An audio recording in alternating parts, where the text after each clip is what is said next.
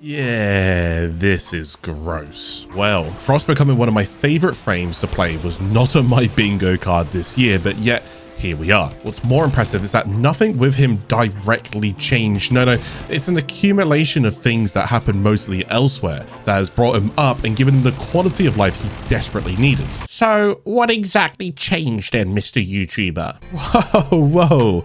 What a great question you guys just asked. I'm so glad that you did. Up on the screen are going to be a few topics in no particular order that affected Frost. Even more so, there are a few other areas that also has helped him, but I want to go and put more focus on these for this video. Let's start off with the Archon Shards. The addition of Archon Shards have helped build crafting in so many ways. It's no joke how good these shards are to get. And for Frost, well, let's have a little look at what his Avalanche build alone can scale with. Energy pool, efficiency, efficiency, strength, range, duration, animation speed, even an augment mod to go ahead and be added. Now, when it comes to focusing solely on mods, that is a lot of mods that we can fit into the build and mess around with whatever outcome we prefer. But due to the limitations on how much capacity we can hold, it usually left Frost with some issues because yes, we can buff two or three of these areas, but leaving the other areas untouched or even worse due to corrupted mods, Frost has struggled with that quality of life. Archon shards have entered the battle. From increasing your strength and duration to adding quality of life to your energy pool or even helping reduce your cast time, these shards are covering areas that we now don't have to cover, essentially freeing up space for those other areas we wanted to also increase. Now, this is just one example. Let's hop into the next. Additive corrosive projection. The change that they implemented to corrosive projection, making it additive to reducing enemy armor, has made us lower the amount of strength needed to reach a 100% armor strip build for Frost, bringing us down from a total of 168% strength needed to just 138 saving us a total of 30% strength, meaning more capacity room again for our builds to benefit in other areas. Arcanes. It's no secret in the last two years there's been a massive increase to arcanes. Around 19 new ones were added in 2022 and another 17 were added just this year alone in 2023, with additions such as Molt Augmented or Molt Efficiency. These are some new arcanes which are also helping our four major stats receive increases outside of general mods. Not even talking about all of the other arcanes arcanes added, and yet still so many more to come in the future. Avalanche Augment receiving Overguards. Not that long ago, Eximus enemies received a new layer of protection to them named Overguard. This is essentially a health pool that you have to whittle down first before you can affect them with Warframe abilities that could crowd control them and make them essentially useless.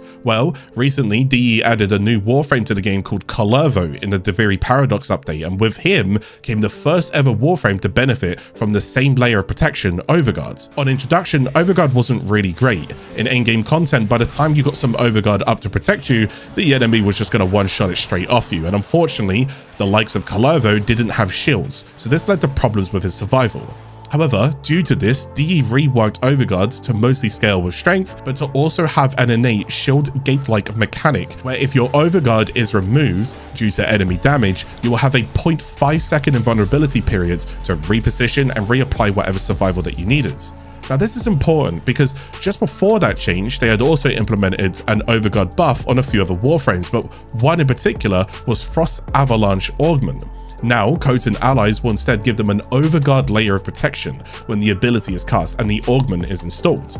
This hugely buffs Frost's position within a team, adding great quality of life survival tool for not just his allies, but even himself. Ideally, I would play within his third ability, the bubble first, cast it down, and then use it for the 3 seconds of invulnerability phasing, soak enemy damage, and then cast my fourth ability from inside to strip enemy armor, freeze them, and then also give myself overguard. So if I do now happen to leave the bubble, I'm in a much better position to fight whatever I now face. Cold and freeze buffs. In 2023, we are still living our lives in a heavy slash viral heat kind of meta, where scaling into endgame content has been made much easier due to their changes a few years back. And cold, well, it's there, but it really wasn't, you know?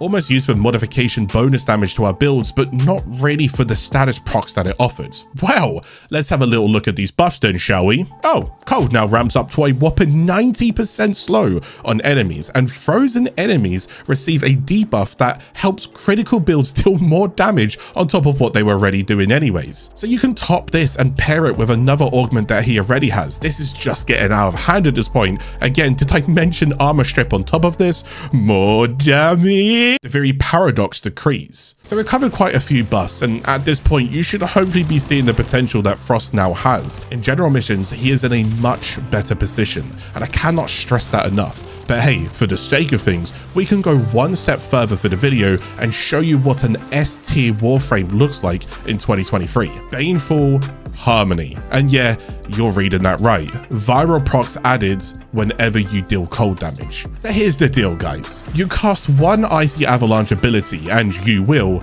strip enemy armor in one cast, give yourself and your allies a layer of protection with a 0.5 gate of survival, freeze the enemy if they don't have overguard and make them more susceptible to critical damage, within Duviri Paradox with a Baneful Harmony decree, then also apply a viral proc to that enemy that now has no armor. And there's even a 6.9% damage increase if you like and subscribe to the channel. I mean, guys, guys, this is what the Ice Age was all about. Total control, total annihilation. Over time, additions such as these are breathing life into warframes that had issues before.